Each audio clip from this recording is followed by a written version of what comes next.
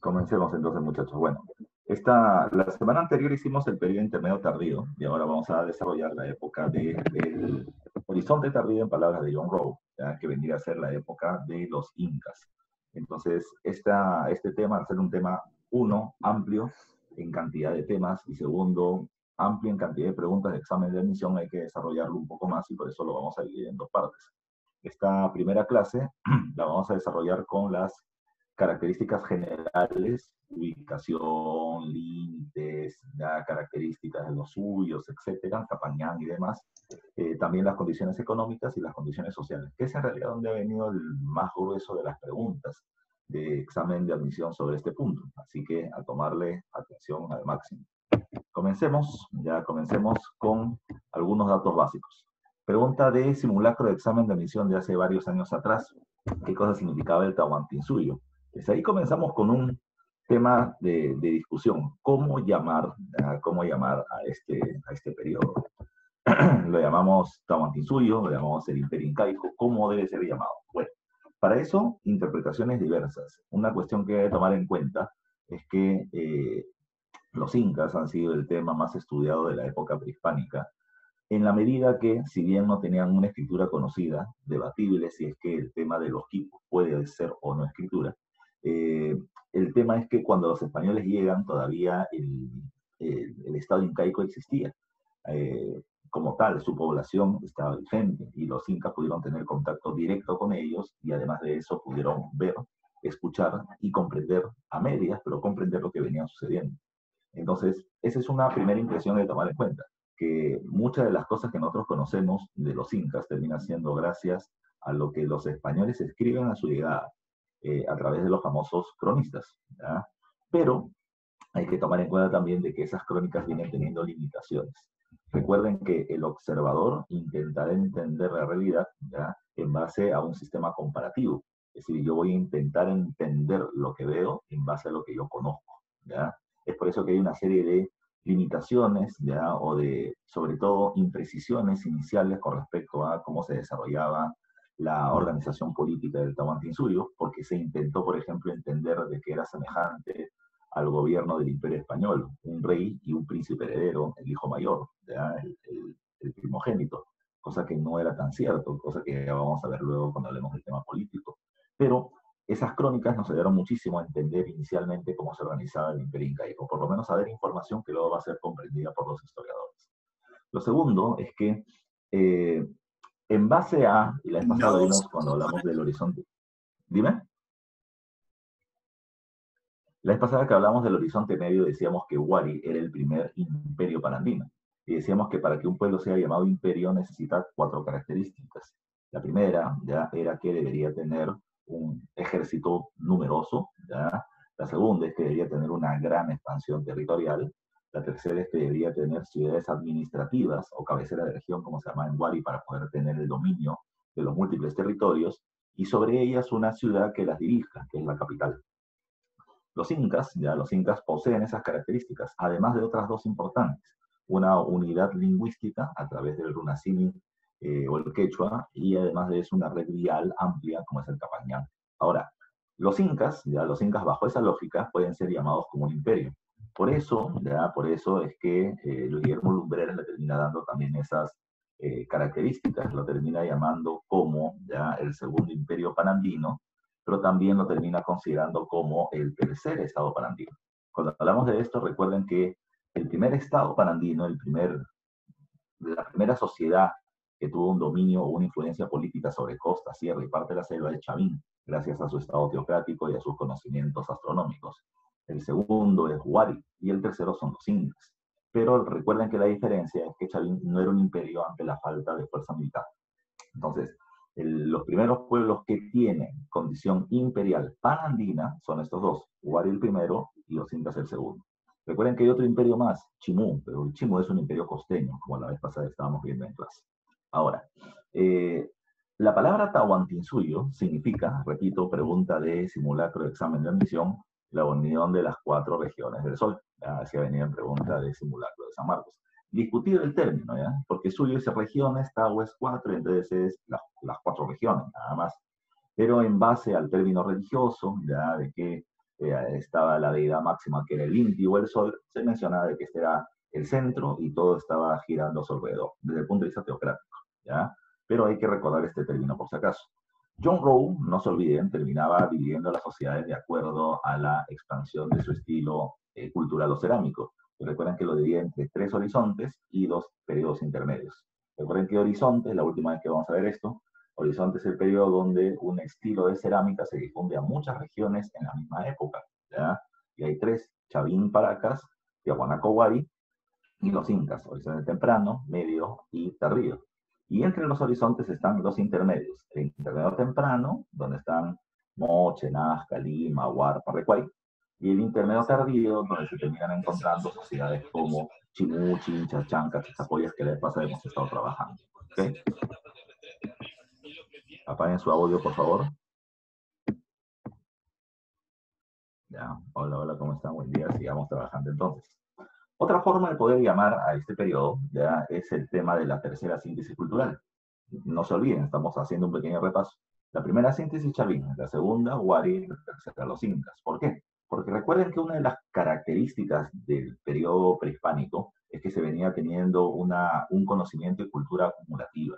¿Qué significa eso? De que los conocimientos de las épocas anteriores o de los pueblos anteriores no terminaron siendo denostados, aplastados o eliminados. Al contrario, terminaban siendo absorbidos, ya absorbidos y sintetizados, ya mezclados precisamente con los logros de otros pueblos y luego difundidos a donde estos, estas sociedades dominantes terminaban eh, imponiendo su poder. De tal manera que Chavín lo hizo, Juárez lo hizo y los incas también. Por eso el término de tercera síntesis cultural.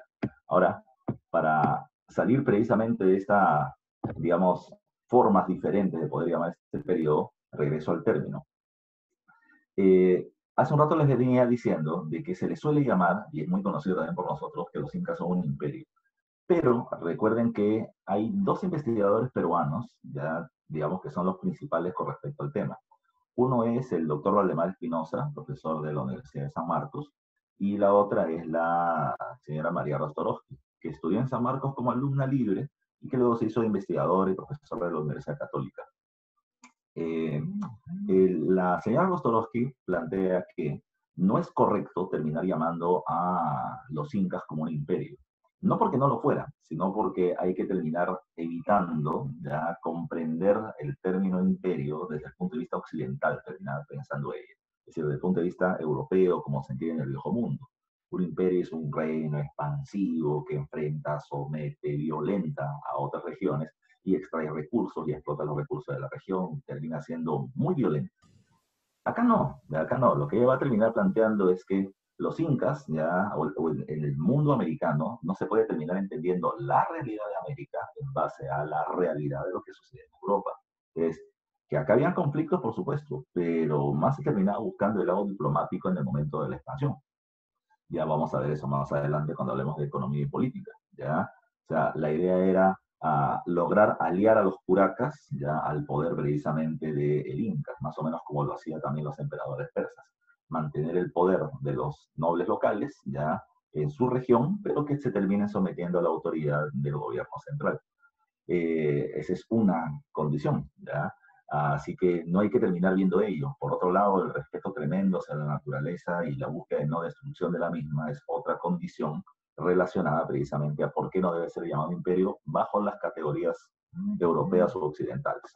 Ahora, saliendo de esos datos básicos, ya nos vamos a ver otro punto. ¿ya? Dice acá, eh, ¿cuándo surge ya, eh, el, imperio o el Tahuantinsuyo? Bueno, el Estado imperial, o sea, el Estado expansivo como tal, muchos de ustedes lo conocen, comienza a partir de la victoria de los incas sobre los chancas, ¿ya? Y la expansión que va a iniciar Cusiupanquio Pachacute. Desde ese momento se habla de la expansión imperial. Ese periodo, recuerden que es un periodo muy corto en su historia, ya no llega ni a los 100 años. Aproximadamente comienza en 1435, 1440, siglo XV, y va a durar solamente esa expansión imperial hasta 1532 en que se produce la invasión española. O sea, este periodo imperial solamente está entre los siglos XV y XVI. Pero la historia de los incas es un poco más larga. La vez pasada que hablamos de los Tiahuanaco, ya, yo les mencionaba lo siguiente, les hago recordar. Recuerden que el final de los Tiahuanaco está ligado a un proceso de migración. No sabemos, ya no sabemos si es que uno terminó habiendo sequías muy duras por un fenómeno del niño y simplemente los pueblos migraron de manera pacífica buscando dónde asentarse y alimentarse, o la misma crisis alentó migraciones del norte de Argentina, de los aymaras, que les pegaron a los tiahuanacos y tuvieron que huir en diferentes oleadas a diferentes territorios. Sea como sea, recuerden que un grupo de tehuanaquenses llega al territorio cusqueño y eso se va a desarrollar en la época de acuerdo Rowe, llamado como el Intermedio Tardío. Entonces, la historia de los incas comienza con esa llegada de los tehuanacos o puquinas al territorio cusqueño, conviviendo con otros pueblos y desarrollándose, cosa que veremos cuando hablemos de esa historia en la próxima clase. Y por otro lado, ya la época imperial comienza recién en el siglo XV. Característica, el imperio incaico es un imperio joven. Y esa es la otra condición. Al ser un imperio joven, las conquistas fueron muy grandes, aceleradas al principio con Pachacuti y Tupayupanqui, pero el Estado como tal no se logró consolidar. Así que siempre hubieron rechazos, ya rechazos locales al dominicaico, ¿ya? Si bien los rechazos no eran muy violentos de manera permanente, porque el Estado inca tenía un ejército poderoso y recursos para poder mantenerlo, se va a terminar observando rebeliones en la época de Tupayupanqui y Huayna Cápac, sobre todo en este último, lo que implicaba de que los estados todavía recordaban, recordaban o tenían conciencia de su autonomía, las élites locales querían recuperar su poder, y por eso es que al final se van a pasar al lado de los españoles, como una suerte de entender de que así van a lograr su libertad nuevamente. No se olviden de ello. Lo otro que está al final es lo que les decía también hace un ratito. ¿Cómo se puede entender la historia de los incas? ¿Cuál termina siendo el método de investigación para poder acercarse o aproximarse a conocer el imperio incaico? Uno ya les comentaba, las crónicas, ya los escritos de los españoles, ya cuando llegan a invadir el Tahuantinsuyo y imponer el gobierno español. Pero un poco más moderno, ya el otro medio para poder conocer la historia de los incas terminan siendo las excavaciones arqueológicas. Este es un caso especial. Desde, digamos, 1990 o los años 2000, eh, este ha ido ganando cada vez más espacio. Entonces se conoce mucho la historia de los incas en base, en base a las excavaciones y estas contradicen mucho lo que dicen las crónicas. Un evento importante es este, le decía hace un rato. ¿Cuándo comienza la época de, expansión imperial incaica? Victoria sobre los chancas, batalla de Aguarpampa, ya incuestionable de acuerdo a las crónicas y las tradiciones. Pero, ya, pero, para que esto termine siendo totalmente cierto, debe tener una, alguna prueba eh, real, evidente, ya fáctica de que eso existe y donde supuestamente hubo la batalla de Aguarpampa, los arqueólogos han hecho excavaciones y no han encontrado nada. O sea, no han encontrado restos huesos, ah, vestimentas, elementos que muestren una guerra sangrienta como se describe en las tradiciones. eso hace dudar de que si realmente existió o realmente fue tan grande como se le ha terminado, eh, digamos, este, dando a conocer por el Estado incaico. Tal vez, y esa es una propuesta, los incas crearon una tradición. Es decir, es decir, la batalla de Aguarpampa no fue tan importante, pero le revistieron de tanta ceremonia y celebraciones, que tanto repitieron la mentira que se lo creyeron como cierto. Y ellos terminaban considerando de que así nació el imperio, con esta victoria, que puede haber sido una victoria pequeña, pero que la terminaron ensalzando al punto de convertirla en el momento histórico fundamental, fundacional de la época del imperio. Entonces, siempre, siempre en las ciudades sociales tú vas a terminar encontrando que las verdades terminan siendo de acuerdo a la época, de acuerdo a las investigaciones, de acuerdo a cómo se entiende en un determinado momento la verdad. Siempre van a ir habiendo investigaciones nuevas, nuevas variaciones, discusiones, debates. Y sobre el tema de los incas, a pesar de las muchas investigaciones que hay, siempre es un tema que está en constante debate. Nos vamos, ya vamos al siguiente punto. Características generales. ¿ya? A ver, ya, ya.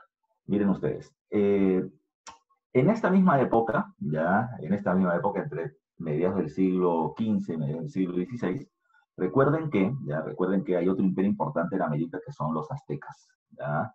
Y por otro lado, por ejemplo, ¿qué venía sucediendo en el tema de Europa? Bueno, se venía desarrollando el humanismo, se está desarrollando el renacimiento, está en los inicios precisamente la reforma protestante. Entonces hay una serie de conflictos interesantes que se vienen produciendo en Europa.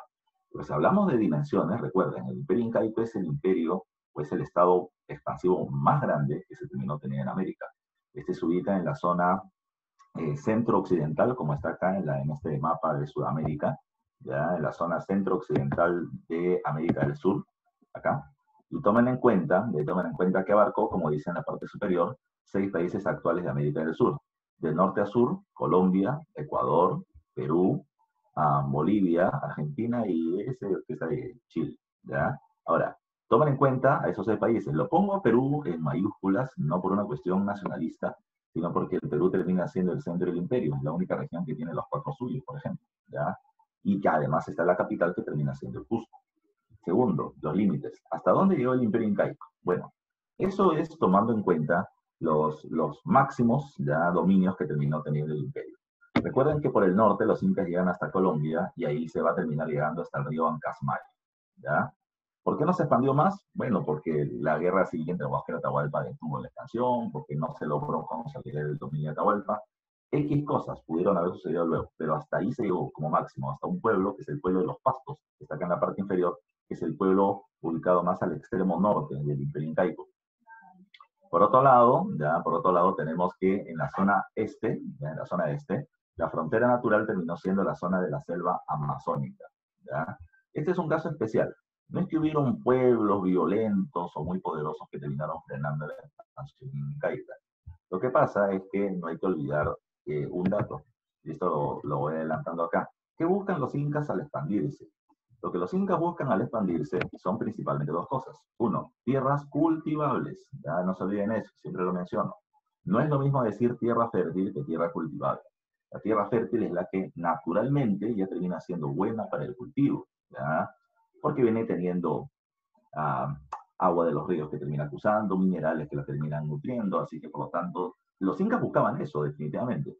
Pero si no había ello, habría que tomar en cuenta que estas tierras podrían ser cultivables a través de alguna tecnología agrícola que se le aplique y que era parte de esa síntesis cultural. Cana de regadío, huachaques, galerías filtrantes, camellones, de acuerdo a la región donde se ubica. Pero esa tierra tiene que venir con algo. La tierra de por sí está bien, pero alguien la tiene que terminar trabajando. Así que la mano de obra de los pueblos, de los ayllus, terminaba siendo fundamental en la expansión de los incas. Así que lo otro que se buscaba era eso. Ahora, en la costa y en la sierra, no se olviden, voy a retroceder, pero ya recuerden esos datos. En la costa y en la sierra, recuerden que la sociedad está eh, basada en un sistema que termina siendo el sistema de Ayllus. Y recuerden que los Ayllus, además de tener un líder que es el Curaca, se caracterizan por ser sociedades sedentarias. Entonces, cuando los incas llegan a un Ayllu, logran someter al Curaca diplomáticamente, por las malas si es necesario, pero diplomáticamente por lo general, lo ponen de su lado y hacen que la población trabaje para el Estado incaico, a través de la famosa MIT, ¿ya? Pero, ya, pero, recuerden, en el caso de la selva alta, la, o en el caso de la selva baja, la situación era diferente. Las tribus de la selva, ya las tribus amazónicas terminan siendo tribus seminómadas, que significa de que no están fijas en un solo territorio. Los incas los someten, ya los someten y luego estos se van, ¿ya? Entonces, para el Inca, este territorio era complejo. Uno, porque tengo que movilizar un montón de gente para poder intentar dominar tribus que están dispersas. Y lo segundo es que no me garantizan mano de obra por mucho tiempo. Lo tercero, que buscan tierras cultivables. Y la zona de la selva baja puede terminar siendo todo lo verde que quieras, pero no termina siendo una zona que termine siendo muy eficiente para el cultivo. Y no lo es, y no lo es, porque se tendrían que talar los árboles, se tendría que quemar el suelo para terminar haciendo productiva esas tierras, para quemar las raíces de los árboles tan grandes que existen. Y esto era demasiado trabajoso. Y además, al quemar el suelo, el ecosistema tan frágil, hacía de que no se pueda cultivar por mucho tiempo. Entonces, no era el mejor de los lugares. Y es ahí donde utilizo nuevamente María Rostorowski. Eso que te estoy comentando, ya, es viéndolo de términos económicos, ¿ya? Es decir, Ah, yo estoy, estoy intentándoles hacer entender de que como no había mucha mano de obra y como no era muy buena para la agricultura, esa tierra no me sirve, por eso es que los incas no lo someten. Y no es tanto así, eso es desde el punto de vista económico occidental, de que Dios creó los recursos para que el hombre le explote, pero no es así. Ellos entienden la vida de otra manera. La tierra es la Pachamama, y la Pachamama es sagrada. O sea, cuando un agricultor tradicional hasta ahora termina cultivando la tierra, primero hace un huequito en la tierra, le rinde su ofrenda a la Pachamama, se fuma un tabaco, le da hoja de coca, le da chiche de jora, etc. Entonces, eh, eso todavía sucede y en el mundo andino mucho más. Entonces, ir y terminar arrasando la selva para poder cultivar no era algo que estuviera en la lógica de los incas de ese momento. Por eso es que no someten el territorio, no es rentable, no es culturalmente dable destruir la región y por lo tanto los incas prefieren tener relaciones cordiales con los pueblos de la selva, sabiendo ellos de que en cualquier momento podrían ser sometidos. Otro más, ya otro más. Pero recuerden, la selva como tal no va a ser dominada porque es su frontera natural. Al sur está el río Maule, ya acá, ya eh, en el sur de Santiago de Chile. Eh, ¿Por qué se termina llegando hasta ahí? Se dice que el Inca Tupayupanqui llegó hasta la Tierra del Fuego, hasta el sur de Sudamérica. Pero ya se menciona que el río Maule es el límite porque abajo están los pueblos araucanos. Y estos, este pueblo fue sometido, pero se rebeló múltiples veces. Así que Tupayupanqui decidió cerrar la frontera en el río Maule, nada más. Aparte, las tierras del sur no eran tan fértiles como las que estaban en el Perú. Por otro lado, está como frontera occidental el Océano Pacífico. Tomando en cuenta de que un límite es hasta donde llegan los dominios, eso también es un poco relativo, porque Tupayupanqui se sabe que llega hasta Galápagos, llega hasta Pascua y llega al parecer hasta Oceanía. Entonces no es un límite muy sólido. Sí se utilizó el mar para el comercio, para la navegación, para la pesca y también para las conquistas. ¿ya? Así que no termina siendo tan, ah, digamos, limitante, ya tan castrante la presencia del Océano Pacífico. Entonces no se olviden esos datos. Lo otro, ya lo otro, cosa que sabemos y que ha sido pregunta de examen de admisión. Como ya hemos dicho al principio, ¿qué es el Tahuantinsuyo? Es la unión de las cuatro regiones del Sol. ¿Cuáles son estas? Tomando como centro al Cusco, ya en la zona noroccidental encontramos al Chinchay, al Suyo. ¿ya? ¿Qué datos podemos conocer sobre ellos? Que ha sido pregunta de examen, si me la memoria. El Suyo termina siendo el suyo uno, de mayor cantidad de población, eso le pueden agregar como notas, de mayor cantidad de población. Segundo, es el suyo que tiene las mejores tierras para el cultivo, sobre todo entre la zona de la Valleja y Libertad. Tercero, es la región con mejor capacidad para la pesca, ¿ya? la zona de desde Tumbes hasta Ancash. ¿ya? Tenemos, ya tenemos esas condiciones. Pesca, agricultura, ya pesca, agricultura, eh, digamos, las mejores zonas para ello, Chincha y la mayor cantidad de población también. La otra condición que hay que tomar en cuenta es que en este suyo estaba la presencia del templo de Pachacamac, que ya hemos mencionado anteriormente. Nace con la cultura lima, los Huari lo difunden como un gran oráculo, mantienen su importancia gracias a eh, el periodo de la cultura Ishma en el intermedio tardío, y los incas también van a terminar sometiendo a la región y mantiene precisamente su influencia, el templo de Pachacamac. No se olviden de eso. En la zona oriental, ya tenemos al Antisuyo, que es la región de la montaña o la selva alta del Imperio Incaico. En la zona sur tienes al Coya Suyo. El Coya Suyo es el suyo más grande, ¿ya? Pero este suyo más grande es donde tenemos como principal actividad económica la ganadería. No se olviden que en el altiplano, entre la meseta y el Collao, zona del sur del Perú y Bolivia, es la principal zona ganadera, con los Tehuanaco y los Aymaras, y esa condición se va a mantener, no se olviden ustedes. Y el más pequeño de los suyos, tú lo conoces, tú conoces al más pequeño, ya termina siendo el Suyo. ¿ya? Así que esos son los cuatro suyos y no se olviden sus características. Otra más. Dime, dime. Si hay pregunta, dime. Si hay alguna pregunta, la pueden hacer por el chat o puedes activar tu micro, yo no tengo problema. ¿ya? A ver, comencemos o sigamos. A ver, como te decía, para que sea imperio, para que sea imperio, ejército, expansión, ciudades administrativas y capital. La capital es el Cusco, ¿ya? El ombligo del mundo, mal traducido, pero el Cusco, ya como centro del poder. Las ciudades administrativas se les conoce con el nombre de Iactas, que eran las cabeceras de región de los Huari, con una diferencia. ¿Qué decíamos de los Huari? ¿Cuál es el principal aporte? Pregunta examen de admisión, el urbanismo, la revolución urbana, las múltiples ciudades que terminaron eh, o construyendo, diseñando y construyendo ya durante su periodo para el dominio de las provincias. Fueron 51 las ciudades de Huari que se conocen. En la época del intermedio tardío no se olviden que llega a 200, y en la época de los incas llega a 300. Una inmensa red de ciudades en todo este imperio gigantesco que los incas van a terminar no solamente construyendo para el control de las provincias, el manejo de la población y los recursos, sino además, ya, sino además unida mediante una extensa red vial que es el Capañán o los caminos del Inca. Recuerden que el Capañán o Camino del Inca son en realidad dos grandes caminos. ¿ya? Uno termina siendo ubicado, si lo queremos poner así, en la zona de la costa, ¿ya? en toda esta región, como si fuera la carretera panamericana actual, ya, por toda esta región. Disculpen el, el pulso. Y luego termina siendo ubicada en la zona de la sierra. Son dos grandes vías, ya son dos grandes vías que se van a tener en esta época, unidos por una serie de caminos internos, que no solamente, y hay que tomar en cuenta eso, que no son solamente caminos terrestres, sino que también tiene puentes colgantes y además de eso, termina teniendo toda una red, ya toda una red marítima. O sea, el Capañán no solamente es por tierra, también tiene rutas por mar que terminaban permitiendo el intercambio de recursos y la movilización rápida por las regiones costeñas. ¿ya? el Capañán es muy amplio. En el Capañán, en el Capañán se terminan encontrando, no se olviden, los tambos, ¿ya? que no es donde venden tu oferta de lo que compras en estas tiendas que se han multiplicado peor que el coronavirus. ¿ya? Los tambos, ya los tambos terminan siendo no almacenes, es un dato que siempre hay que recordar. Si bien tenían recursos, no tienen la función de almacén. El tambo termina siendo una posada, ahí le estoy poniendo el término, ¿ya? El tambo es un hotel de la época, pero con funciones muy especiales, muy diferentes a los que ahora, ya a los que ahora se va a terminar eh, utilizando un hotel. ¿ya? O sea, no era para poder intimar con otra persona, sino que el tambo era un, una zona de descanso. ¿ya? Es decir, es decir, ¿para qué me sirve el Capangán? Ya te he dicho, movilizar tropas, obtener recursos. Pero yo siempre pongo este ejemplo. ¿Qué pasaría si es que hay una rebelión muy fuerte, por ejemplo, en Tumibamba o Quito, en Ecuador? Y se tienen que enviar refuerzos. Tienen que enviar refuerzos a diferentes ciudades, incluso de la capital.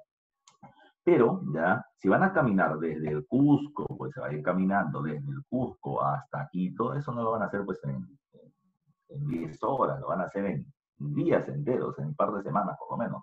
Pero nadie va a caminar 24 horas al día por 5 días a la semana. Entonces, en el camino, en el camino, tú comenzabas la caminata al amanecer y antes del anochecer tú tenías que tener un lugar donde poder descansar. Y ese lugar terminaba siendo el tambo. Esa es la condición especial. Entonces, un tambo, ¿ya? entre un tambo y otro, no hay una distancia métrica medible exacta. Entre un tambo y otro hay una distancia de tiempo, 12 horas, ¿ya? al amanecer hasta el anochecer, de 6 a 6. Tú tenías que tener un lugar donde poder descansar, donde poder conseguir alimentos, donde poder conseguir medicinas o plantas medicinales que faltaran, etc. Y al día siguiente continuar con tu camino. Para eso servía el tambo. ¿ya? Tenía recursos, sí, pero su función es almacén, es un hostal para poder continuar al día siguiente caminando. El otro caso, el otro caso, ¿qué más había en el tambo? En el tambo estaban los chasquis. Recuerden que los chasquis terminan siendo los eh, mensajeros de la época. El WhatsApp de la época terminan siendo los chasquis. Mientras que la gente caminaba de un tambo a otro, ellos estaban esperando que lleguen las noticias y apenas tenían una noticia, a picársela. Ya iban corriendo, iban flotando, iban corriendo de a otro. Ahí tienes a la Inés Melchor de la época, ya, y a los corredores que han ganado en el, en el Panamericano. Entonces, estos este sistema ya es lo que a los incas le llama mucho la atención. El Capañán y los Chasquis, un sistema de mensajería sumamente rápido, sumamente eficiente para poder tener controlado e informado el gobierno de lo que pasa en todas las regiones y eso no hay que olvidar. ¿ya? Ahora, eh, también van a haber otras cosas, que son las colcas, etcétera, pero eso de las colcas lo vamos a ver cuando hablemos del tema político, ¿ya? así que por el momento no. ¿ya? Ahora, me dice Piero que eh, el capañán es un arma de doble filo. Bueno, al final los españoles van a terminar agradeciendo que existiera el capañán porque le va a terminar sirviendo para poder avanzar de Cajamarca al Cusco con rapidez. Pero claro, los incas no pensaron, mm, voy a construir una red vial para que luego me termine pegando. No, eso lo hacían con, la eficiencia a favor de ellos, pero le resultó al contrario en algún momento, no fue un número. Por otro lado, lo que le decía hace un rato, pregunta de examen de admisión, pueblos extremos, o sea, los que están más al extremo norte y más al extremo sur. Más al extremo norte van a estar los pastos en la zona de Colombia, cerca de Camayo, y al extremo sur, entre Argentina y Chile, van a estar estos tres pueblos, que ha sido pregunta de examen de admisión. Diaguitas, Huarpes y Cuyos. No se olviden, pregunta de examen. Así que, tomando en cuenta estas generalidades, nos pasamos ahora a ver el otro tema, la economía. Ya te estaba explicando hace un rato. ¿Qué cosa busca los incas al expandirse? No te olvides, tierras cultivables y mano de obra de los pueblos que van a ser sometidos. Ahora, dentro de esa organización económica, recuerden que los incas van a tener diferentes actividades. Y hemos mencionado múltiples veces lo siguiente, recuerden que, recuerden que los pueblos prehispánicos van a tener como principal actividad económica la agricultura, excepto el Chapé, Chincha, Aymara, Tiahuanaco y Pucará, que ya hemos trabajado en las clases. Pucará en Puno, Tiahuanaco y los Aymaras en la misma región altiplánica, ganadería. Los chinchas, la pesca, la pesca y el comercio, sobre todo esto último. Ahora, los incas que no están dentro de ese grupo tienen como principal actividad económica la agricultura. Pero además de la agricultura tenemos otras más, como por ejemplo la ganadería. En el caso de la ganadería, recuerden, eh, a ver, primero, ya, una pregunta que siempre recuerdo nos hizo el profesor Valdemar Espinosa en la universidad, que nos dejó pensando como dos meses, era, eh, ¿por qué no se descubrió la rueda en el Tahuantinsuyo? Una pregunta que nos estuvo, que nos lanzó y para que la gente investigue por nota. Y, y las respuestas eran múltiples, pero él terminaba llegando a la conclusión siguiente. No había rueda en el mundo andino porque no habían animales de tracción. O sea, no habían animales como el caballo, la mula, o, el burro, o el toro, para poder arrastrar, arrastrar cantidades gigantes de productos a través de una carreta que necesita la rueda. Entonces, al no tener animal de tracción, no era necesario ello. Entonces, teníamos animales de menor tamaño, como la llama, por ejemplo, que podía servir para la carga, pero para una carga menor, de entre 20 y 25 kilos. ¿ya? Entonces no servía de mucho. Entonces por eso es que se utilizaba más la fuerza humana para el caso. ¿ya? En el caso de la ganadería, acá se van a terminar teniendo camellos andinos o auquenios, como la llama, la alpaca, eh, como animales domesticados, y la vicuña que también servía por el tema de su lana. ¿Para qué sirven la, para qué criaba tantos animales? Acá me dice, uno, por la carne, ya recuerden que se puede terminar charqueando, se deshidrata y sirve para alimento. Lo otro es la producción de lana, ¿ya? la lana para terminar haciendo tejidos eh, además del algodón. Y como medio de transporte, como te comentaba hace un rato. A ver, me están preguntando en el chat. ¿Qué me dicen en el chat? Eh, sí, ya le respondí a Piero. Dime, ¿qué más? Profe, pero, pero también no creo otro factor fundamental, lo que es el relieve de la, de la parte andina. claro, yo te estoy planteando no sabes cuántas, cuántos puntos de vista le dimos al profesor Valdemar. ¿ya? Yo estoy diciendo lo que él nos mencionaba. Ah, eh, uno, para mí era, por ejemplo, la falta de hierro, porque la rueda tiene que tener un revestimiento de hierro para que no se desgaste con el rodar. Él decía, bueno, pues ya no había hierro, perfecto, pero puede ser de una madera que puede terminar siendo utilizable o cambiable de manera permanente, lo cual sido muy costoso y trabajoso. Pero él decía, no, para él su respuesta era animal de tracción. Evidentemente el relieve era otra condición, pero recuerda que a pesar de eso se hace el capañán, ¿ya? Y en el camino se podía utilizar la rueda. Pues para él el caso principal era este, ¿ya? Ahora, ¿por qué les menciono esto también? Porque recuerden que quienes hacen las preguntas de examen de admisión son principalmente profesores de la universidad que no trabajan en la pre. Eh, y uno de los profesores que podía tener influencia es, por ejemplo, el profesor Raúl Adanaque, que es un profesor muy cercano al profesor Valdemar, ¿ya? Y por lo tanto podría estar tomando en cuenta esa idea y podría lanzarla como una pregunta. Así que por eso deslizo ideas por si acaso. Eh, a ver, sigamos hablando. A ver, sigamos. Además de la ganadería, tenemos eh, otra actividad económica como es el comercio.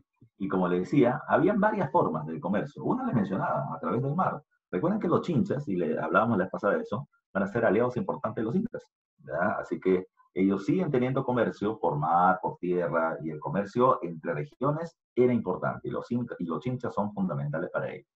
Pero otra cosa que les menciona también era el caso de los wari. Recuerden que en las ciudades, y no se olviden de eso porque viene una pregunta como chimú, en, cultura chimú, recuerden que en las ciudades no termina viviendo el agricultor, el, pastor, el pescador. En la ciudad viven los gobernantes, la nobleza, los generadores de recursos y además los artesanos que producen recursos para la élite y además productos que reproducen la cultura de la élite hacia el pueblo, en cerámica, en esculturas y demás. Recuerden que en Guari le mencionaba esto, que habían algo llamado con el nombre cactus, ¿ya? Y acá está nuevamente para recordar, los cactus, ¿ya? ¿Qué cosa era eso? Recuerden, los artesanos de las ciudades terminaban sacando su producto fuera de la ciudad y le intercambiaban, intercambiaban ese excedente con los productores de alimentos, agricultor, pescador, pastor, ¿ya? Entonces tú me das comida y yo te doy eh, artesanías. Ese terminaba siendo el intercambio que se venía teniendo en las ferias o catus, ya no se olviden de eso. No hay moneda. Le decía la vez pasada, en el periodo intermedio tardío, que la única posible moneda que se pudo haber utilizado es el caso de las achitas de cobre, solamente como una probabilidad. Ya no se olviden de eso. Ahora, ¿qué más hay que tomar en consideración? Además del comercio, la otra actividad económica es el tema del desarrollo de los tejidos. En el caso de los tejidos, eh, recuerden, eh, una de las tradiciones de los incas termina siendo el hecho o la, leyenda de Manco Cápac y Mama No se olviden de eso. Recuerden que supuestamente cuando ellos llegan al Cusco, el Cusco está habitado por pueblos bárbaros. Lo veremos en la próxima clase que hablemos de su historia. Y recuerden que Manco Cápac le enseña a los hombres a cultivar el maíz y Mama le enseña a las mujeres a tejer. Entonces, esa es la visión de los incas como un pueblo civilizador que lleva cultura y demás. Pero, ¿cómo se hacen los tejidos? Como dice ahí, se puede realizar de manera individual como de manera productiva a favor del Estado, como una actividad manejada por el gobierno. De manera individual está el caso de que las mujeres terminaban utilizando como una suerte de faja amarrada a un tronco de un árbol o a otro tipo de elemento, y ahí terminaban haciendo su trama y sus tejidos para poder utilizarlo ella y su familia. Es una labor femenina principalmente. Mientras que, por otro lado, estaba la producción para el Estado de vestimentas finas llamadas con el nombre de cumbis. Recuerden que los cumbis terminaban siendo productos que los incas intercambiaban como parte de su muestra de dominio político. En este caso, recuerden que quien producía esto eran un grupo de mujeres que eran las águilas, ¿ya? No todas las águilas eran igual, pero había un grupo de águilas que terminaba estando ligado al tema productivo, no solamente tejidos, sino también alimentos, de bebidas, o van a ser entregadas como mujeres extras para los nobles o para sacrificios. Pero estas en particular, en el Águila Oasi, o en el caso de las águilas, terminan siendo talleres de producción textil en favor del gobierno. Ya no se olviden de ello. Y por otro lado está el tema de la agricultura, que sin duda es el, tema eh, importante, ya importante en este punto. En el caso de la agricultura, recuerden, es la base de su economía, la principal actividad económica del Tahuantinsuyo. Lo otro es que, ah, como ya habíamos dicho, los incas son una síntesis cultural. Los incas van a utilizar tecnologías agrícolas de otros pueblos para terminar eh, ampliando sus zonas de producción. Por eso acá utilizo una palabra que una vez viene en pregunta de examen de admisión, ampliar su frontera agrícola. Recuerden que la frontera es el límite, hasta donde yo podía cultivar, pero gracias a esas tecnologías yo puedo terminar teniendo más espacio de cultivo. Por ejemplo, en la zona eh, altoandina, ya el sistema de camellones o guaruguaru de los tehuanaco, eh, se va a terminar reproduciendo donde se puede reproducir. Igual que los huachaques, igual que para la costa norte, o las galerías filtrantes para la costa sur. O sea, todo eso se utiliza. Pero recuerden que San Marcos ha preguntado ya sobre el tema de los andenes. Y no te olvides, los andenes de los, de los, de los huarpa que luego reproducen los huari. Recuerden que terminaban siendo como escalinatas o terminaban siendo como, se me olvida la palabra exacta, ¿ya? Pero terminaban siendo como grandes espacios de maceteros puestos al lado de la de los cerros para poder ampliar las zonas de cultivo. ¿ya? Terrazas. Ajá.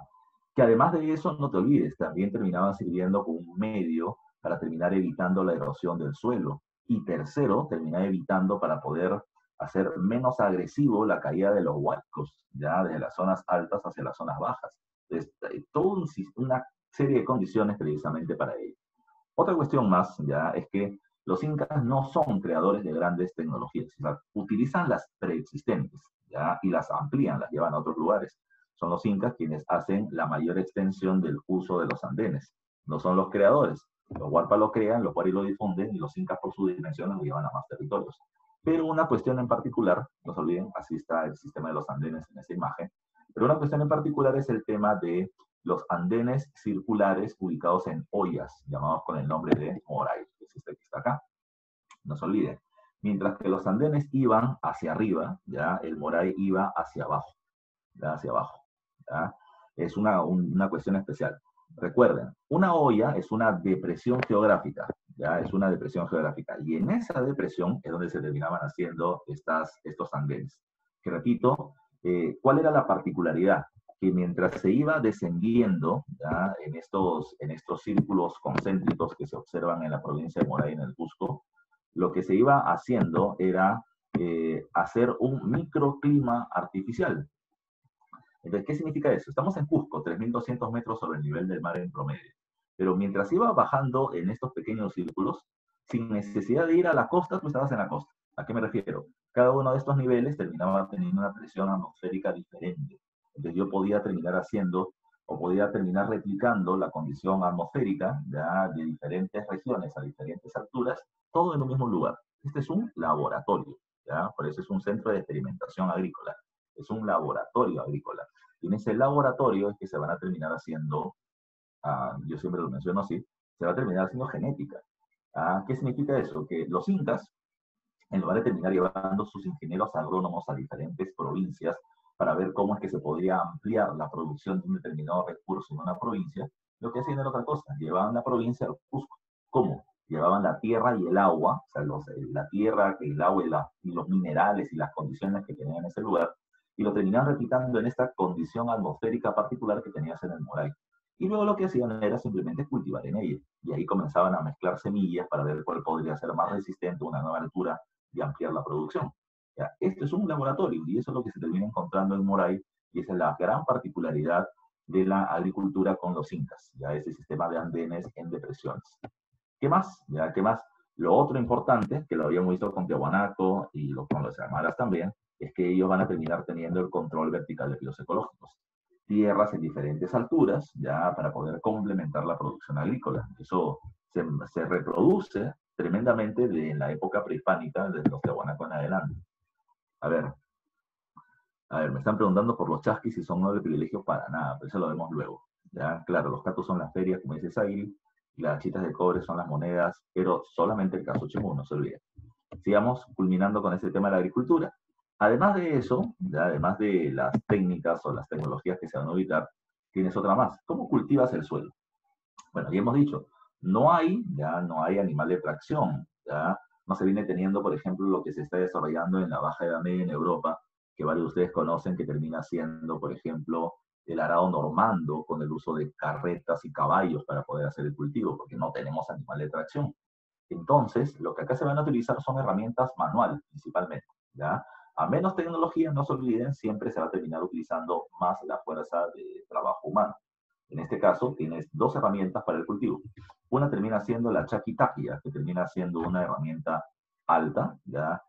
de un metro y medio aproximadamente, que viene teniendo un, un espacio para poder poner el pie y presionar precisamente con un ángulo de inclinación al suelo para terminar levantando el suelo y poder cultivar en ella. ¿ya?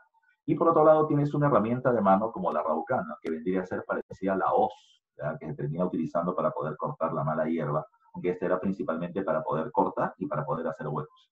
Es herramienta de pie, larga la chapitalia, y herramienta de, de mano pequeña como es la raucana. ¿Quiénes trabajan en la agricultura? Trabajan todos, ¿ah? Trabaja hombre, trabaja mujer, trabaja anciano, trabaja niño, trabajan todos, ya trabajan todos. Por eso es otra cuestión importante. Recuerden que las familias son amplias porque se requiere mucha mano de obra, ¿ya? Y por eso es que se termina teniendo muchos hijos para poder tener mucha mano de obra en la agricultura. Claro que el trabajo va a estar ligado también a tu condición o fuerza. O sea, eh, el niño va a terminar poniendo las semillas como si fuera un jueguito, ya los jorobados también terminaban trabajando. Se ve mucho en las, en las imágenes de Guamán Poma de Ayala esa condición. Ahora, eh, esa es la agricultura. Nos vamos a ver el otro punto. ¿ya? Estos datos eh, son básicos, ¿no? Ha sido pregunta de examen también. Cuando hablamos de, la, cuando hablamos de los incas, la, tanto la economía como el sistema social están ligados a dos grandes elementos, la reciprocidad y la redistribución. Entonces, vamos a recordar estos puntos porque han, sido preguntas de examen. Cuando hablamos de la reciprocidad, recuerden ya que esto se fundamenta en un elemento que es la ayuda mutua.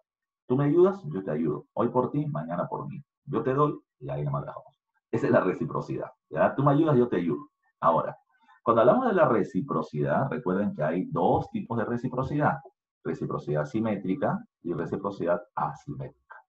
Ahora, ¿cuál es la diferencia o, cuáles son sus particularidades? La reciprocidad simétrica es cuando el trabajo se hace, y lo estamos poniendo acá, entre miembros del mismo nivel social.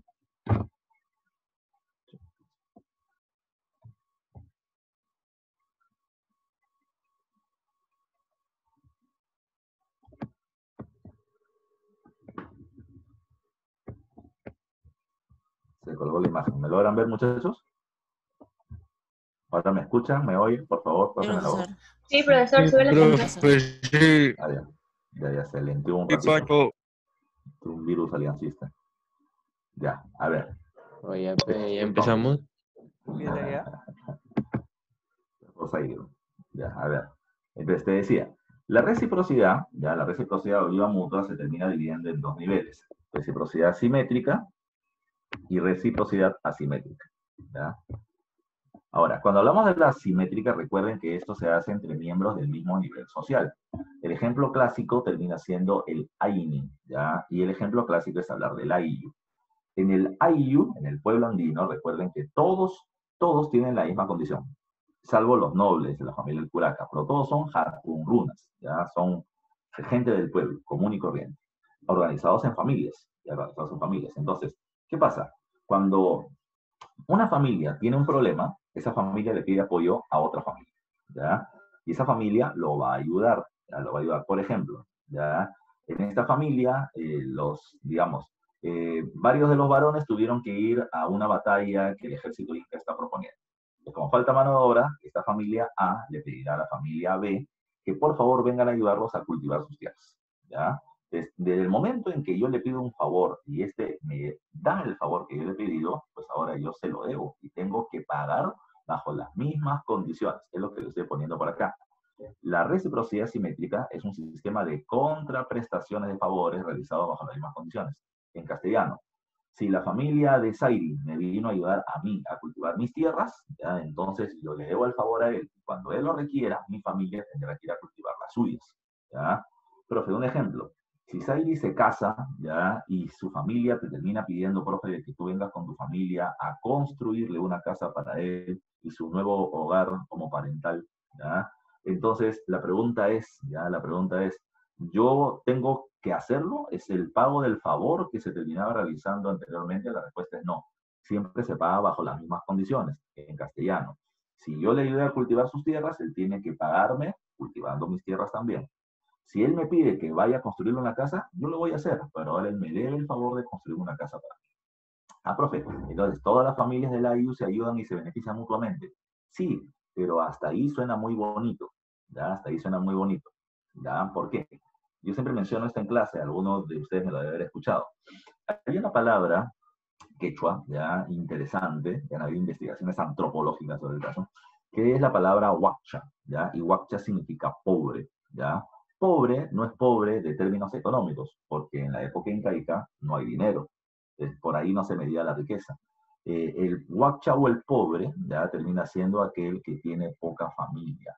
¿ya? En el mundo andino eso es fundamental, ¿ya? es fundamental. Pero cuando la familia es amplia se ayuda mucho, y eso varios de ustedes lo deben conocer, sobre todo si tu familia termina siendo de procedencia andina. Tal vez tengas tu papá por lo general tiene dos, tres hermanos, pero tus abuelos tal vez vienen teniendo diez o dos hermanos y si tienes bisabuelos que conoces también tienen quince, tienen una fábrica de terminar haciendo hijos, ¿ya? Pero no era por, por una cuestión falta de lógica, así es el sistema del AIU, familia grande, ¿ya? Familia grande, ¿para qué? Para terminar apoyándose. Falta plata, terminamos llamando al primo, al hermano, al, al, sobrino y terminamos haciendo una junta, ¿ya? O una apoyada, ¿ya? Y al toque se soluciona el tema, con una familia grande. Entonces, ese es uno de los puntos importantes. Pero tú eras huacha cuando tu familia poquito.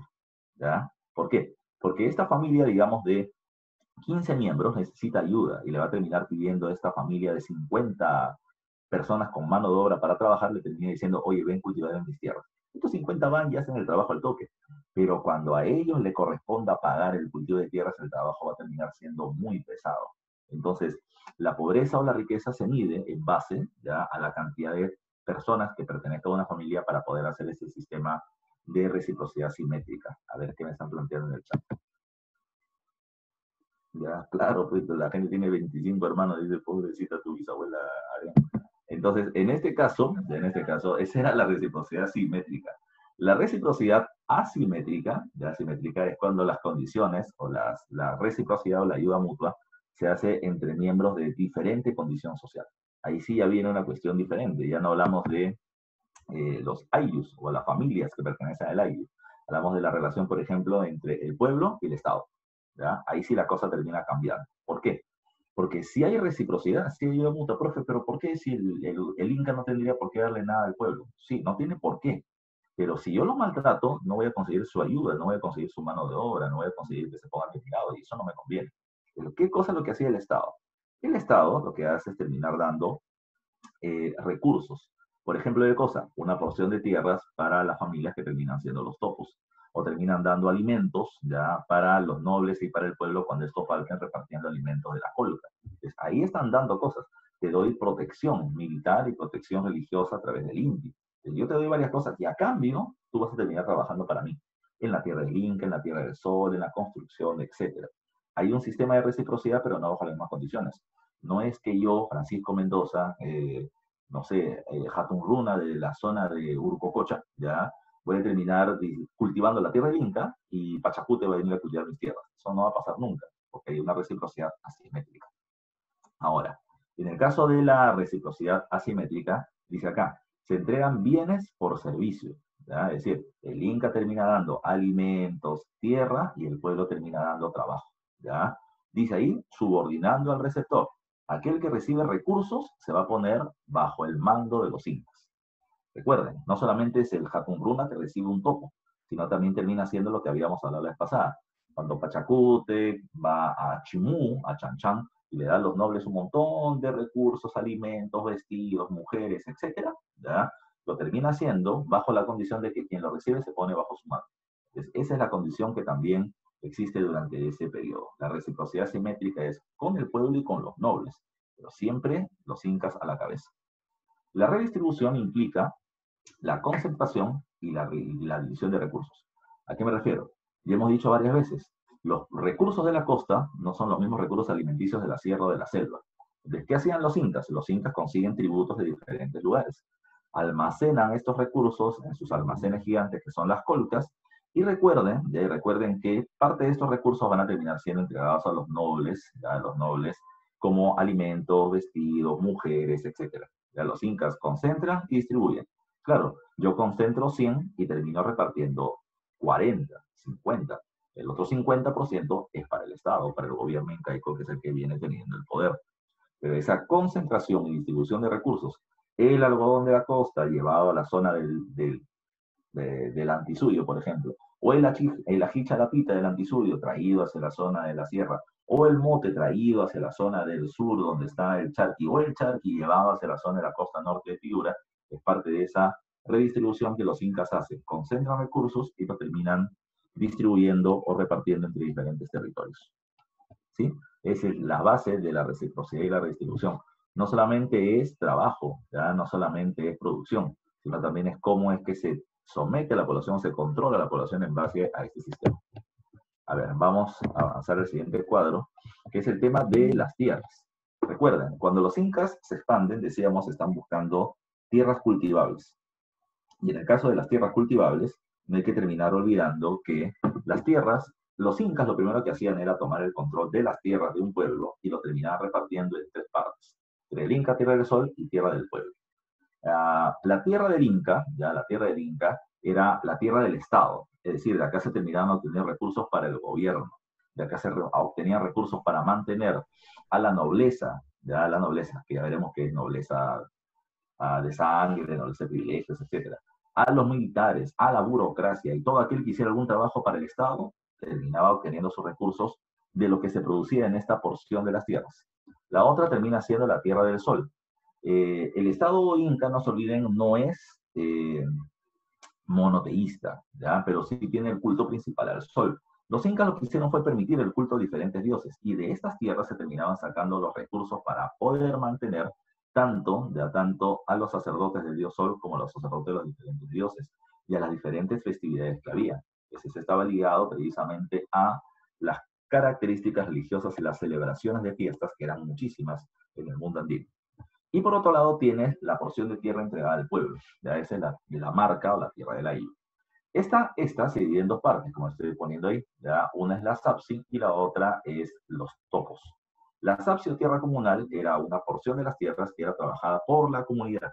Y cuando el pueblo en conjunto trabaja, ya trabaja, para el beneficio del AIO en conjunto, este sistema se llama MINCA, no se olviden. De, de ahí van a terminar sacando los recursos para el pueblo. Por ejemplo, la formación de sus almacenes llamados con el nombre de piruas. Y por otro lado, había una porción de tierras entregada a cada familia que se le conocía con el nombre de los, de los topos. ¿ya? Y esos topos eran entregados a cada AIU o a cada familia del AIU para que terminen obteniendo alimentos y no terminen ¿ya? Y no terminen, y no termine existiendo problemas a futuro. Una de las cosas que siempre se recuerda de los incas es que los incas no van a cometer el mismo error de los wari, es decir, ellos van a tener grandes almacenes para poder sostenerse ante un fenómeno del niño. Eh, es más, le entregaban suficiente tierra a cada familia para que puedan alimentarse bien y tengan sus propios almacenes en el aire, para que no los molesten en caso que haya un fenómeno del niño. Pero si aparecía un fenómeno del niño, las colcas servían para poder distribuir recursos y mantener la calma social.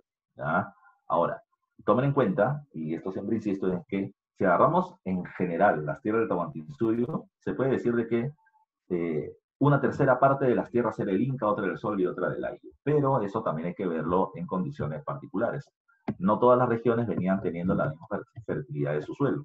Así que esto va a terminar dependiendo mucho de esta condición. Las tierras entregadas a la eran inversamente proporcionales a la fertilidad del suelo. Es decir, si estamos en una zona como Ayacucho, donde el suelo es rocoso, y yo le termino dando solo un tercio de las tierras a la IU, lo mato de hambre. Y si los mato de hambre o no tienen los suficientes alimentos, esa gente no va a ser leal a los incas y se pueden rebelar. Entonces, para, este, para esta región de poca fertilidad, a la población yo le voy a dar 60% de las tierras, es la tierra del aire. El 40% restante, 20% de la tierra del Inca, 20% de la tierra del Sol, para que la gente tenga recursos y quiera trabajar para mí. Ahora, si la tierra es muy fértil, llámese Yucay en el Cusco, ya entonces inversamente proporcional. Menos tierra para la IU, más tierra para el y para el Sol. Con 14% de las tierras suficiente para que este IU tenga alimentos y tenga sus almacenes. ¿ya? Y el 86% restante, 43% para el Inca y 43% para la tierra del Sol. Es parte de lo que se considera cómo fueron divididas las tierras. Yo siempre soy un opositor a terminar mencionando de que eh, los topos medían dos hectáreas, falso, no hay forma de medir porque va a terminar dependiendo del suelo. Ya, Pierre está preguntando si, eh, Piero, ya, de que si la colca terminaba siendo utilizado eh, por la nobleza o sería un fenómeno ambiental, eh, no solo se beneficia el ARIU, sino el estado incaico. Ya, mira, la colca, que son los almacenes que todavía he puesto, son los almacenes del Estado, eso no te olvides. los recursos son para el Estado. Pero si faltan alimentos en caso de crisis, se distribuyen entre los años. O sea, no era establecido para mantener al pueblo, sino que era, eh, digamos, una tarea de complemento si es que recursos faltasen. Y por último, con respecto al tema de la economía, es el tema de la organización del trabajo, que te estaba mencionando ya. Hay tres o cuatro formas de trabajo principales. ¿ya? El primero es el AINI. El AINI sí es una cuestión de familia a familia. ¿ya? Mi familia y tu familia llegan a un acuerdo, yo te ayudo, ¿ya? no solamente mi familia, pueden ser varias. Una o más familias ayudan a una familia que tenga problemas. ¿ya? Es trabajo por trabajo, no se olviden. ¿ya? Yo te ayudo y tú me ayudas bajo las mismas condiciones. Es el AINI. ¿ya? Pero también tienes otro grupo, otro sistema que es la MINCA, que es lo que lo comentaba. Todos trabajamos y todos somos los beneficiados. El beneficio ya no es para uno, sino para todos. Es el sistema de la MINCA. La mitad es el sistema por el cual el pueblo trabaja para el Estado. Recuerden, la gente está obligada a trabajar. ¿Por qué? Porque los incas le, permiten a las cotorronas seguir siendo libres, no esclavos. Pero como parte de eso tienes que tributar. Y el tributo termina siendo tributo en trabajo en servicio, que es el sistema de la mitad. Hay otro más que termina siendo la chunca, que es para poder reparar los daños hechos por fenómenos naturales, como un fenómeno del niño, como un huaico, como una inundación o cosa parecida. ¿Ok? No se olviden de eso. Ah, saliendo del tema, nos vamos al tema de la organización social. La sociedad incaica, la sociedad incaica está eh, dividida en diferentes grupos. O sea, la sociedad es una, o tiene como característica especial, ser una sociedad eh, clasista, evidentemente, ¿ya? de que hay propiedad privada y clases, así que eso no es algo fuera de lo normal. Es aristocrática o nobiliaria. Los nobles vienen teniendo no solamente mayores beneficios, poder y bienes, sino que eso los diferencia evidentemente con los miembros de la sociedad. Es una sociedad jerarquizada, hay evidentemente un grupo que tiene el poder y otros que son sometidos, pero además de esas condiciones, también es una sociedad esclavista, aunque no todos son esclavos, la inmensa mayoría son libres tributarios, pero también hay un grupo de esclavos que son los piñas o pinacunas. Pero dentro de esa condición hay que ver a los subgrupos. La nobleza está dividida en tres. La primera son la nobleza de sangre, y la nobleza de sangre también se le conoce con el nombre de panacas, que ha sido pregunta de examen de admisión. ¿Qué cosa es una panaca? Es la familia de los incas. Siempre lo pluralizo. ¿ya? ¿Por qué? Porque, porque cada inca termina teniendo su panaca. Pachacute tiene su panaca, Tupayupanqui tiene su panaca, Huayna tiene su panaca, su propia familia. Entonces, ¿qué es lo que sucedía? ¿Ya? Pregunta de examen de admisión de San Marcos. ¿Quiénes conforman las panacas? Y por eso le estoy poniendo acá que las panacas la terminan conformando los incas y sus descendientes. ¿ya? ¿Por qué? Porque si lo ponemos en la época de Huayna por poner un ejemplo, eh, él tiene su familia, su sus esposas, sus hijos, hasta sus nietos podría tener. Pero Pachacute, que ya falleció, sigue teniendo panaca. Su cuerpo no es enterrado, su cuerpo es momificado, lo mantiene en una zona donde lo terminan cuidando siempre. Su cuerpo va a ser sacado en procesiones para recordar la importancia precisamente de ese Inca y el poder de la panaca. Ahora, lo que también hay que tomar en cuenta es que eh, cuando está gobernando Huayna ya no están los hijos de Pachacute, ya murieron hace rato. ¿ya? Eh, podrían estar los nietos, los bisnietos, los tataranietos. Por eso es que, ¿quién conforma la panaca? El Inca y sus descendientes. ¿ya? Esa ha sido pregunta de examen de admisión y no hay que olvidarlo. Así que las panacas son tanto de los incas que gobiernan como de los que ya fallecieron. No se olviden.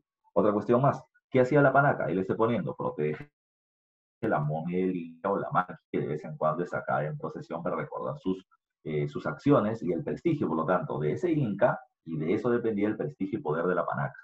Ellos, como dice ahí, ocupan los más altos cargos de gobierno. Implica que de esas panacas van a terminar saliendo los gobernantes de, los suyos, los gobernantes de las provincias, sale el Tucuiricuy, sale, etc. Y recuerden que el Inca se va a terminar casando con su hermana, que es la Coya, y con sus primas, que terminan siendo las concubinas. Y sus primas terminan siendo las representantes de cada panaca para poder mantener una relación diplomática de alianzas lo más positiva posible, precisamente con las familias poderosas del Tahuantinsuyo. ¿Quiénes conforman la panaca? Ya hemos dicho que el Inca y sus descendientes. Pero si queremos ser muy precisos, recuerden que está el Inca, quien gobierna, ¿ya? La coya, ¿ya? La coya, bueno, lo pongo en plural, no porque el Inca tenga varias coyas, tiene una nada ¿ya? Que es la mujer principal.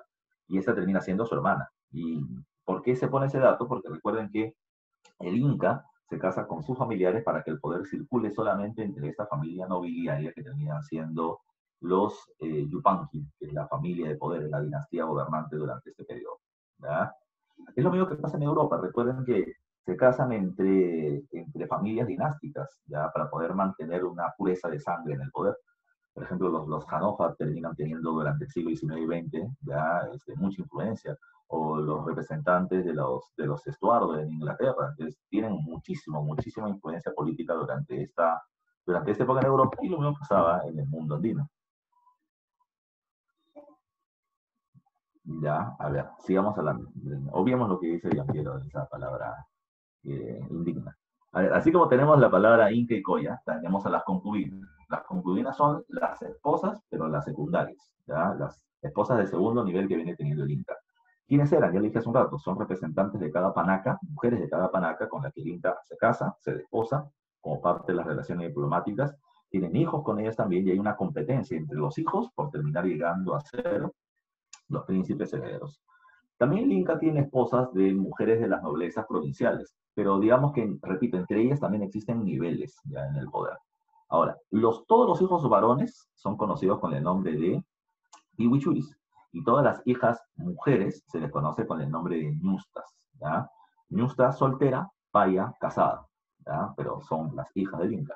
Todos los príncipes varones, ya, sea de la coya o de las concubinas, van a terminar siendo preparados eh, académicamente en el eh, van a terminar de ellos estableciéndose quién tiene las mejores capacidades para poder llegar a ser el heredero al trono o auge. Recuerden que el heredero no es el hijo mayor. Siempre el hijo del Inca y la Coya tiene digamos, la primera opción, pero si no tiene grandes capacidades se le deja de lado, ¿ya? de ellos van a salir el auge. Solamente hay una persona que no pertenece a la panaca, el auge. Una vez que uno de los hijos del Inca ha sido designado como tal, como heredero al trono, él es retirado de su cargo, retirado de la panaca y él crea su propia panaca. ¿Por qué? Porque la panaca terminaba siendo la familia cercana a la cual se supone que tú tienes una gran confianza para poder ayudarte a gobernar cuando estés en el poder eso que tenía que tener un montón de hijos para tener un séquito precisamente de personas leales a ellos, pero esa lealtad también es relativa, ¿ya?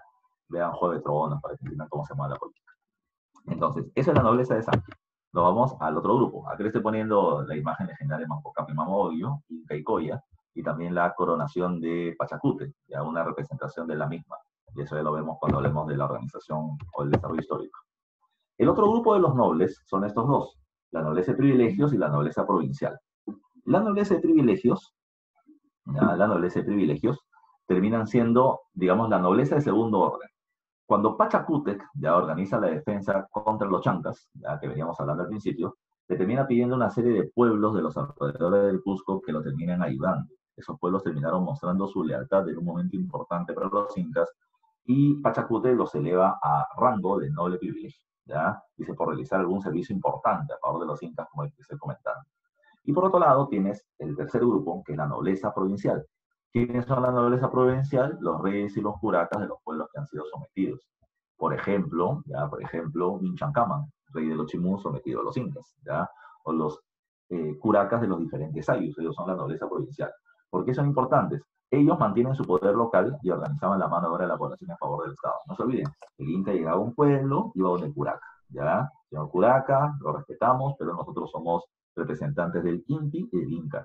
Tenemos un ejército de 10.000 personas y ustedes una población de 10.000 hombres, ya 10.000 personas entre hombres, mujeres y niños. Si te sometes a nosotros, vas a tener mujeres, alimentos, vestidos, fiestas y mantendrás tu poder y más recursos eh, dados por el Inca. Si lo rechazas, te arrasamos. Así que era mejor hacer una, un acuerdo con ellos. Diplomáticamente los incas te sometían. Y ellos que tenían que hacer, organizar la mano de la población. Cuando se hacía chunca, el curaca convocaba la chunca para la reparación de fenómenos naturales. Cuando se convocaba la minca, el curaca la establecía. Cuando se convocaba la mita para que trabaje para el Estado incaico, el inca es el que organiza ello, el curaca es el que organiza ello. La gente no mueve un dedo si es que el curaca no se los termina pidiendo. Es una cuestión también importante recordar durante este periodo. ¿ya? A ver, ¿qué más hay que tomar en cuenta?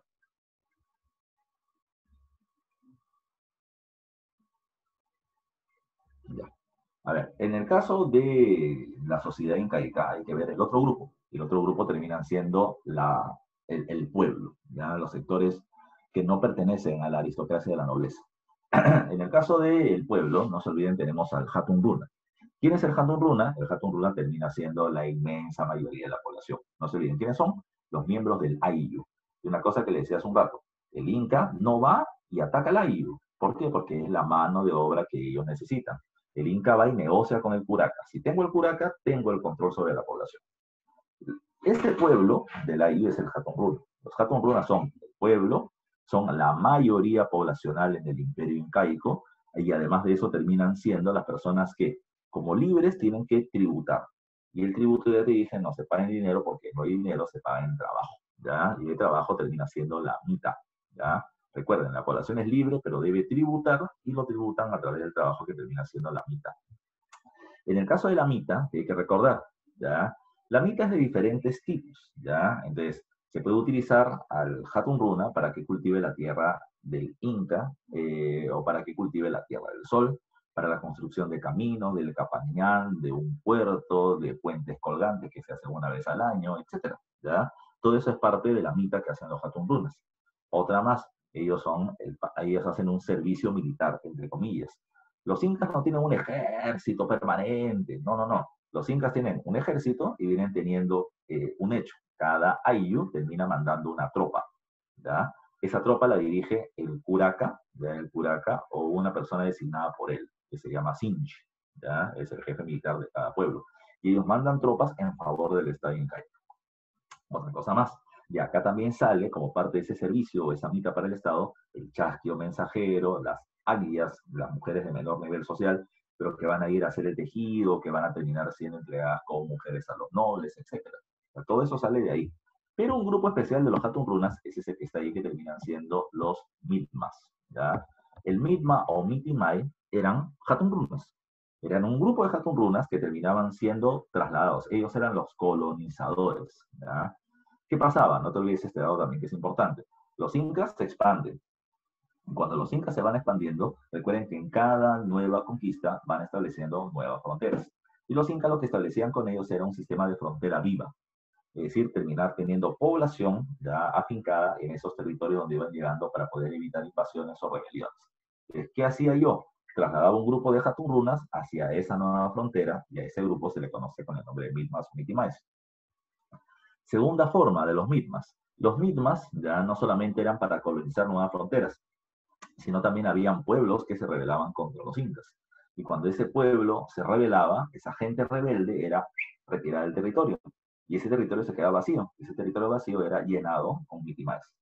Los mitmas o mitimaes terminaban teniendo la función de ocupar un territorio, pero también difundir la cultura y el conocimiento de los incas y hacer publicidad, no solamente de las tecnologías, sino que los incas son buena gente, que los pueblos no se rebelen, y era parte precisamente de este sistema.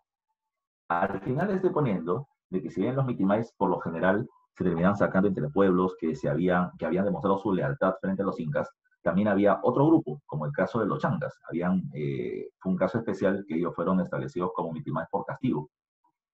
Por haberse rebelado contra los incas, ya por haberse enfrentado a los incas, los changas van a terminar siendo llevados como mitimaes a otros territorios para dispersarlos, para poder evitar futuras rebeliones. Ya, casos especiales también. Así como están los Hatun que son la mayoría de la población incaica, tienes a los otros que son los Yanaconas y los Piñas.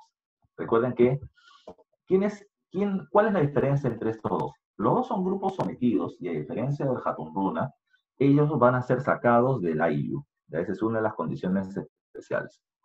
A todo el mundo le gustaría seguir viviendo en su territorio. Por ejemplo, si tú le preguntas a un peruano que vive en Estados Unidos, en Europa, si quisiera regresar a su país, lo primero que te van a decir es, pero acá gano más.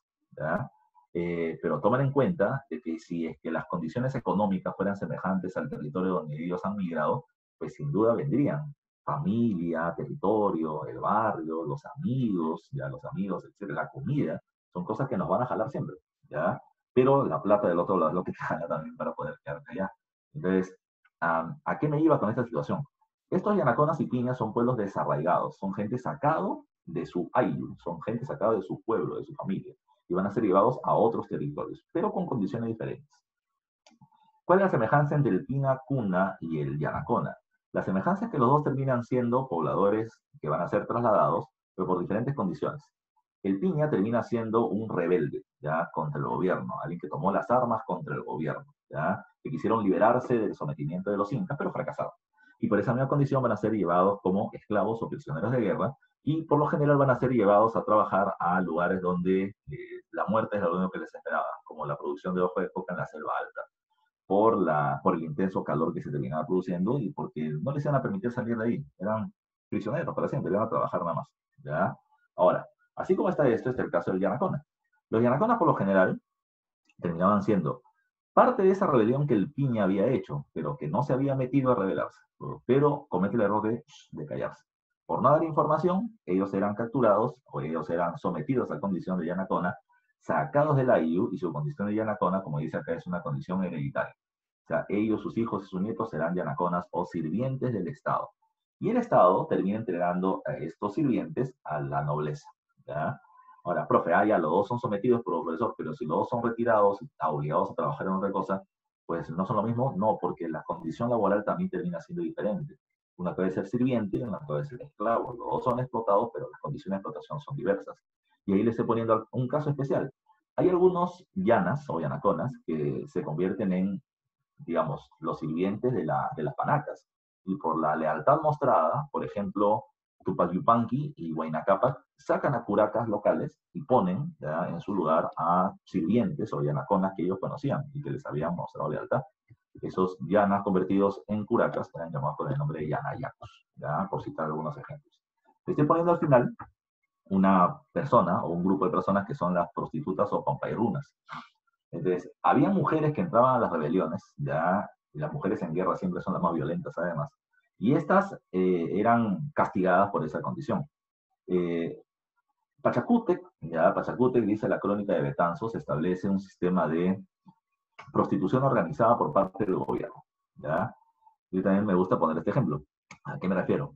En el mundo andino, desde el mundo andino, la mujer no tenía por qué llegar virgen al matrimonio, ¿ya? En términos morales, por así decirlo, ¿ya? Eh, había un sistema de eh, servinacuy, o el sistema de prueba prematrimonial, una convivencia que era promovida por parte del, del Estado y de la sociedad. Si tú te querías casar con alguien, primero prueba un año, ¿ya? Para ver si ese hombre o esa mujer te gusta o puedes convivir con ellos, si pueden compartir funciones, si se llevan bien, ya no solamente las ganas, a ver si se pueden llevar bien.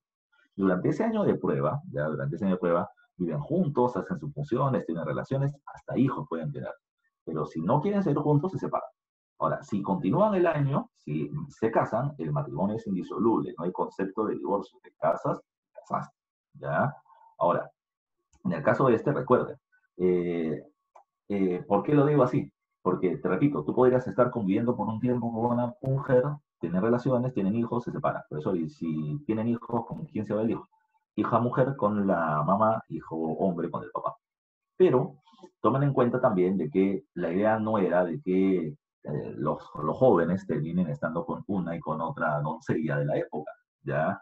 La idea era que para poder evitar eso, Pachacute lo que hizo fue a estas mujeres rebeldes de diferentes pueblos les terminó poniendo casuchas, dice así las crónicas, fuera de la ciudad de Cusco, y si alguien quería tener relaciones sexuales antes de terminar, seduciendo a una mujer, prometiéndole cosas que no va a poder hacer en el futuro, casarse, etcétera, pues se iba donde estas mujeres, las prostitutas, las comprunas, y les terminaba dando recursos, ya alimentos, vestidos, etcétera, para tener relaciones sí, y retirarse, sin compromiso.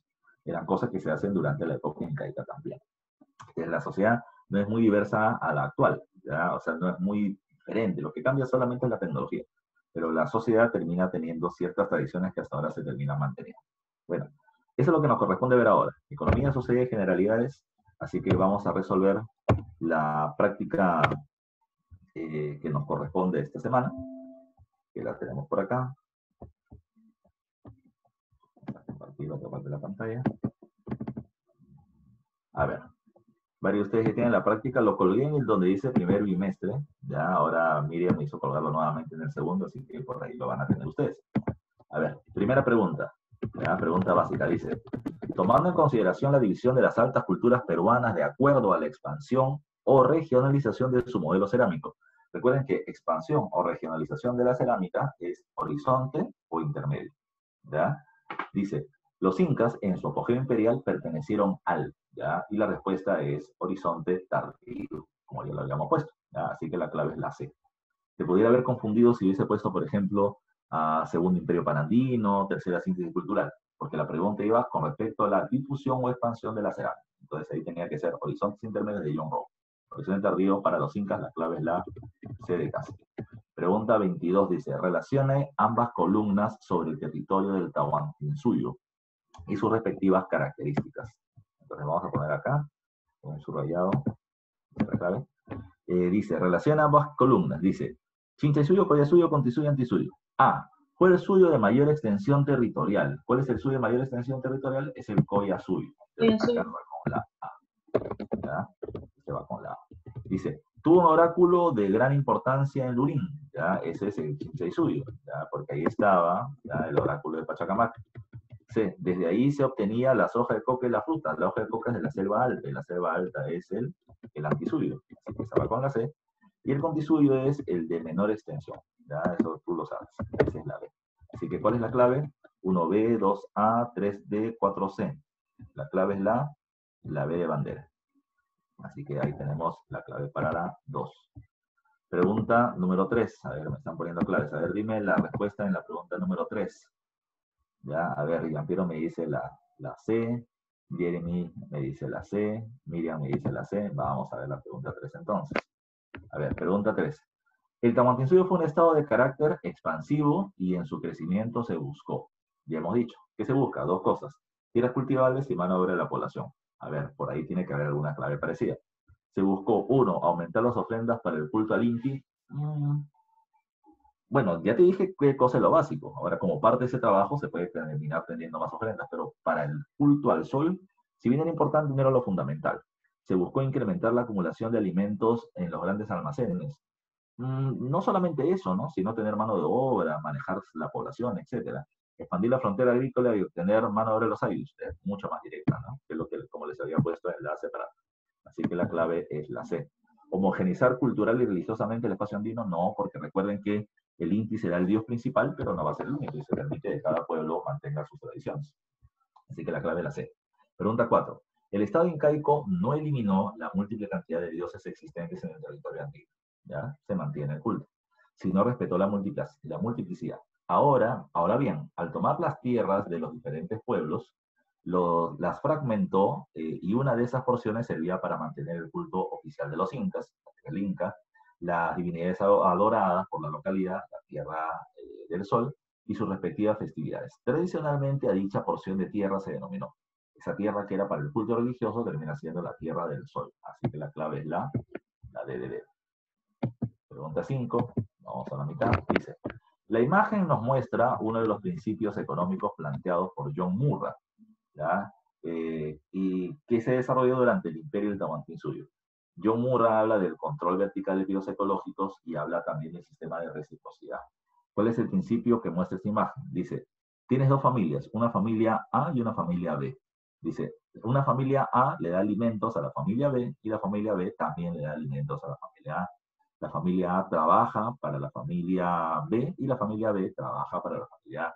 Entonces, si se ayudan bajo las mismas condiciones, ese sistema, ¿qué cosa es? Ahí me están poniendo entre las claves, pregunta 5, tu clave será 5D, 5D, 5D. La clave es la reciprocidad simétrica y la reciprocidad simétrica está en la alternativa D. ¿Ya? A ver, vamos.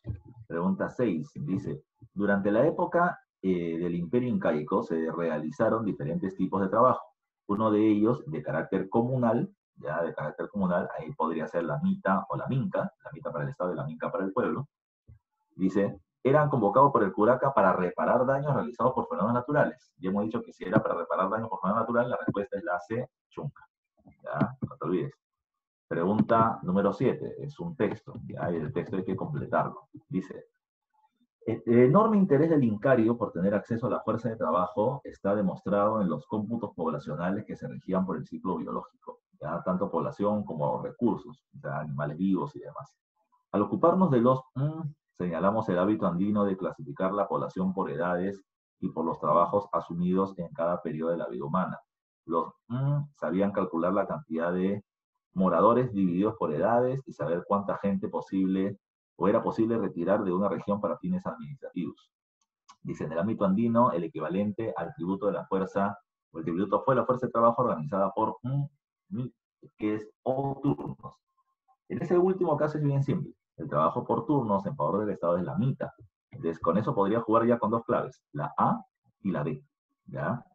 Ahora, arriba me está diciendo, eh, el primer punto para completar. Al ocuparnos de los señalamos el hábito andino de clasificar la población por edades y trabajos asumidos. El trabajo asumido para el Estado termina siendo el de los runas, porque tienen que terminar mitando. Y ellos son los que mitan, no mita el yanacona. Así que con eso podríamos descartar la A y la clave de frente termina siendo la clave de dedo. Vamos, faltan tres más y nos vamos. Dice, constituía la gran mayoría de la población andina, eran los campesinos y de entre sus filas el Estado sacaba la enorme fuerza de trabajo. Entonces recuerden, si son la mayoría de la población y son su principal fuerza de trabajo, son los Hatun, los Hatun Luna, no hay más que leer. Pregunta 9. Establezca, establezca la característica que no se relaciona con el Mitimai del suyo, que no se relaciona, está viendo lo falso. Era una función de sanción o venganza del gobierno a todos quienes ejercían ese trabajo. No, no era para todos un grupo de ellos, como los chancas, terminaron siendo sometidos a esta condición por castigo, pero la mayoría eran población leal al gobierno. Es la A me parece que no es clara, o sea que es la falsa. Dice, ellos difundían el idioma y planificaban la y pacificaban la región de rebeldes, sí, porque llevaban el conocimiento de los incas, está bien. La C, los mismos defendían las nuevas fronteras generadas por la expansión incaica. Y la respuesta era sí, ellos son parte de la frontera viva, como les comentaba hace un rato. Dice, D, la función de los mismas pasó a trasladarse de regiones cercanas a su pueblo a territorios muy alejados por la necesidad de Imperio y Sí, al principio, con Pachacútec, la gente era trasladada a localidades cercanas nada más.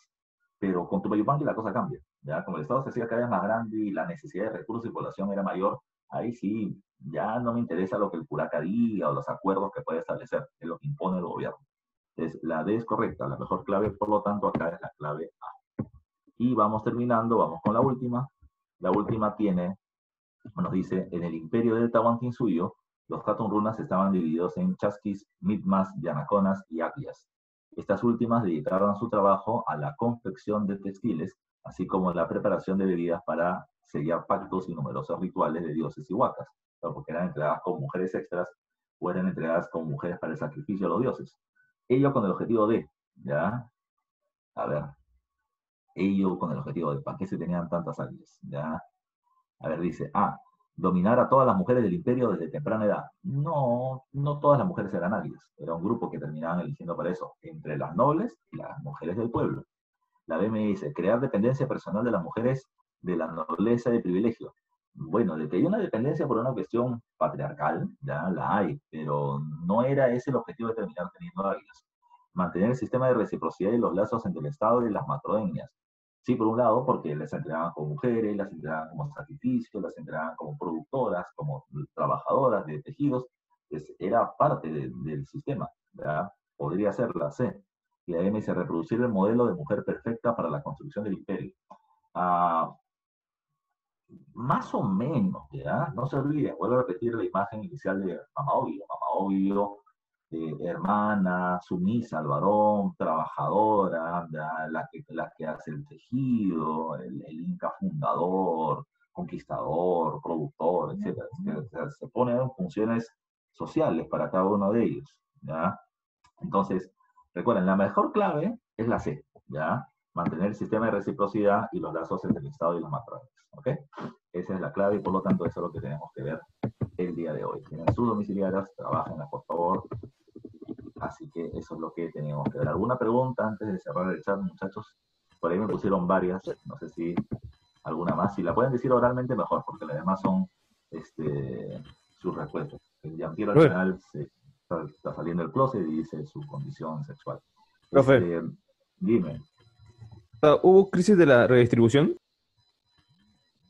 Mira, la crisis de la redistribución va a estar ligada a la época final del imperio, del imperio andino, o del imperio incaico. O sea, no es que faltaron alimentos, el problema terminaba siendo que, como Huayna no permitió la expansión del imperio incaico a mayores dimensiones, la cantidad de nobles ya y la cantidad de miembros del Estado fue mucho mayor o creció a mayor velocidad de lo que los recursos podían obtenerse producto de una expansión cada vez menor. Entonces ahí sí hay una crisis, pero que se intentó anular cuando Huáscar le quita las tierras a las panacas y la pasa para el Estado.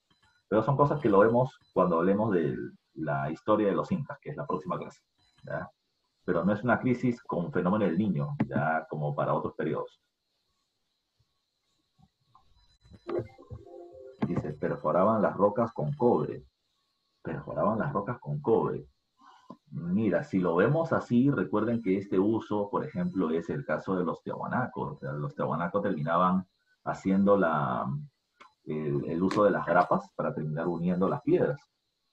¿ya? Más que perforarlas, terminaba sirviendo para poder unirlas. Se hacía el corte y se terminaba echando metal fundido, que más que cobre es bronce, ya para terminar eh, manteniendo unidas a las, a las piedras.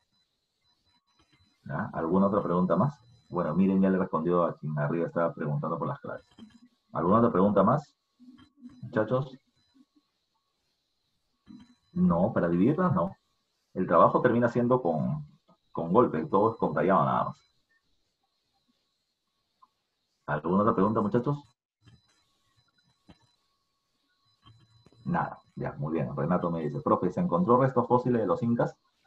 Bueno, restos fósiles de, la población del Tahuantinsuyo, sí. Ahora, si me preguntas por las momias de los incas, esa es otra cosa.